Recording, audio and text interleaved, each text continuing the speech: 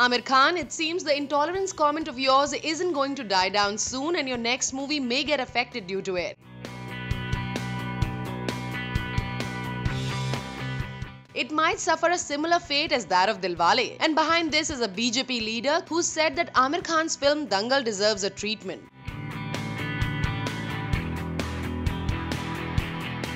This is to refer to Aamir Khan's intolerance remark as well as Shah Rukh Khan's Dilwale. The box office collection of Dilwale suffered because of Shah Rukh Khan's intolerance India comment, leading to a lot of people boycotting the movie and the protests that people did against SRK for stating such a thing about India.